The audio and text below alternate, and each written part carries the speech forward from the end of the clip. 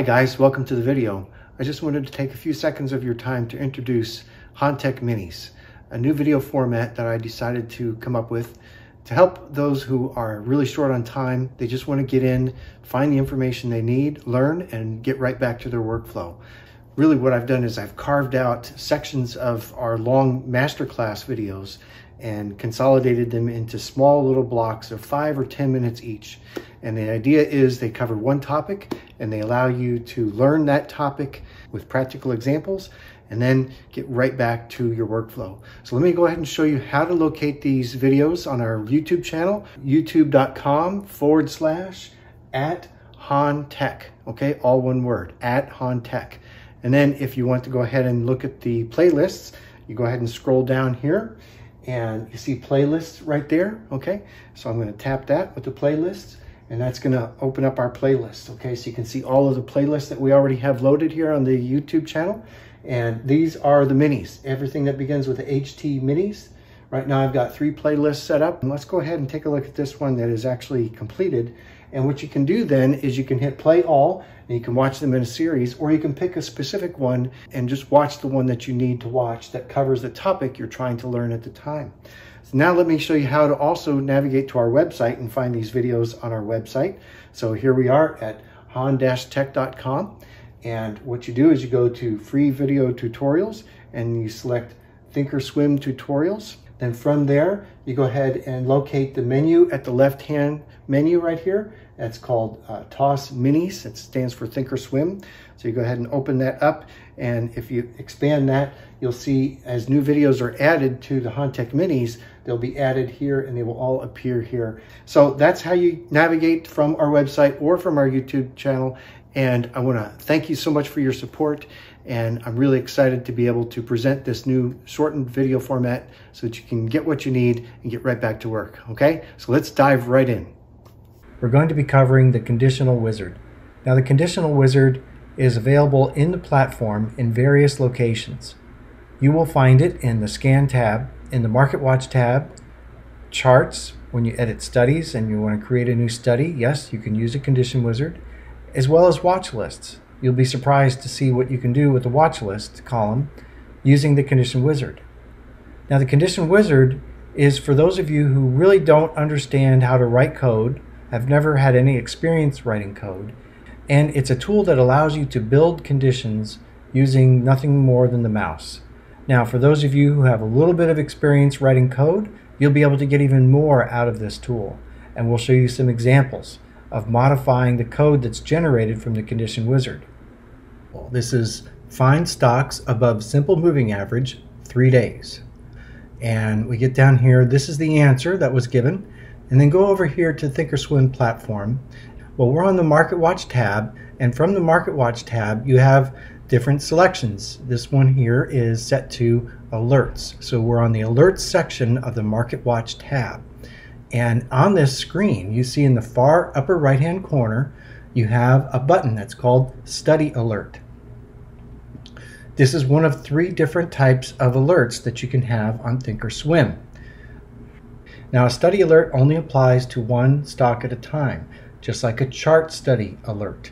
A chart study alert operates only on the ticker symbol that's plotted on the chart. The study alert happens to have the benefit of being able to send SMS or email notifications. I'll go ahead and click this and open up the window. I'm going to go ahead and close the reference bar on the right hand side. And now you can see the code that's in the code box. And right now we're on the ThinkScript editor side of the study alert.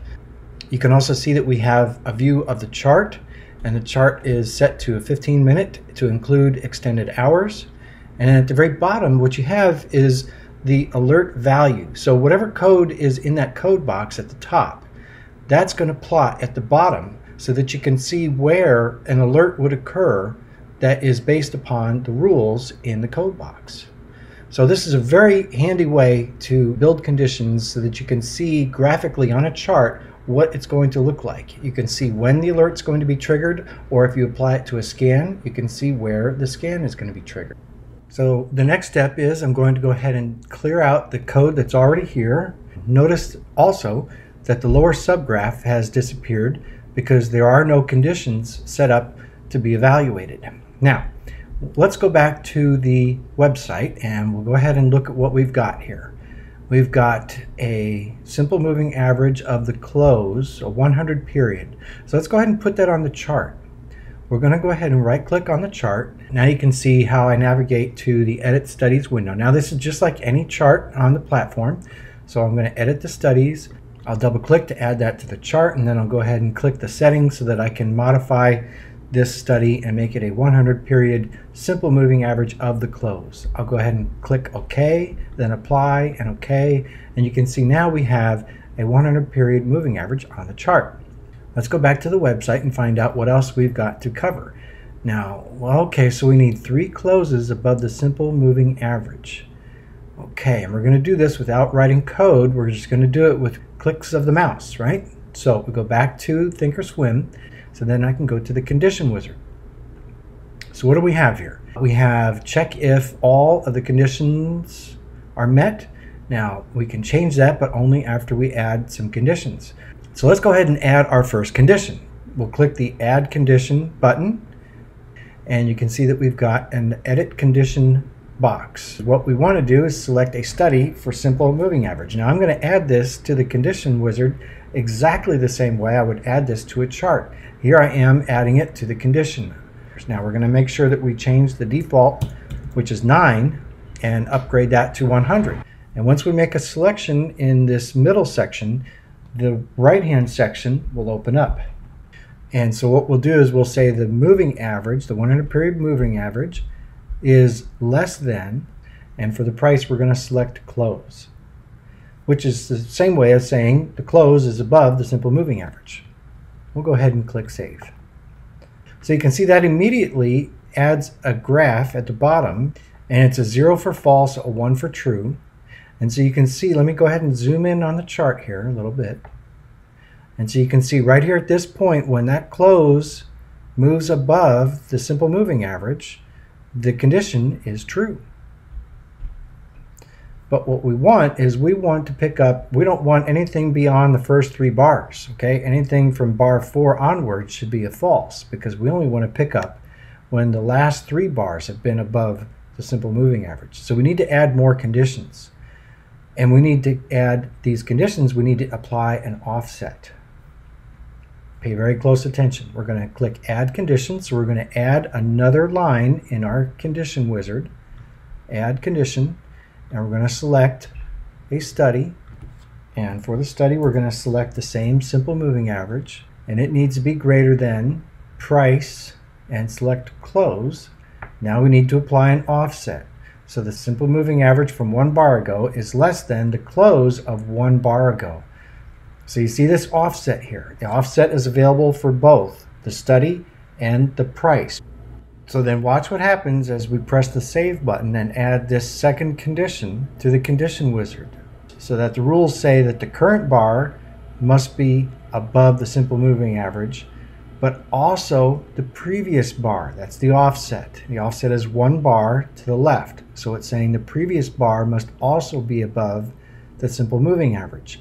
Watch the graph at the bottom that gives us our true false values as I press the save button. Did you see that? If you blinked, you missed it. But what happened is it changed from this bar to this bar. It moved one bar to the right. So we're going to do the same. We're going to add another condition. So you get to see this again. And we're going to add another offset. This time it's going to be two bars. So the current bar must be above the simple moving average as well as the two bars prior to that. So we're layering these conditions. They all have to be true in order for this single condition to evaluate true. Watch what happens when I press save. And once again, now we've shifted this true false indicator on the bottom one more bar to the right. So now it's picking up when you have three bars above the simple moving average. But it's also picking up if you have four, five, and six bars above the simple moving average. So what we need to do is we need to tell it that not only are these three conditions need to be true, but we need to say that the previous bar to that, so this is going to be an offset of three, that one needs to be below the simple moving average. So we're going to add another condition. And we need to apply an offset of 3 to both of these, okay? So this is now 3 bars back from the current bar. And we're saying the bar 3 bars back from the current bar needs to be below the simple moving average. Watch what happens when we click Save. Now we have a single true condition for the third bar above the simple moving average, and it's false for every other bar that's above the simple moving average. Does that look like magic? It's not, it's very simple. And now you can do it without having to write any code. Let's go ahead and expand this a little bit. We're going to shrink the chart and expand the conditions above so you can see how we've stacked them. The simple moving average is less than close. Simple moving average from one bar ago is less than the close. From two bars ago, from three bars ago. So you see we've stacked all of these conditions together so that they all must be true in order for the overall condition to be true. So if you apply this to a study alert and apply this to a stock, it's only going to trigger when you have the first time the third bar is above the simple moving average. Okay, we'll let that sink in a little.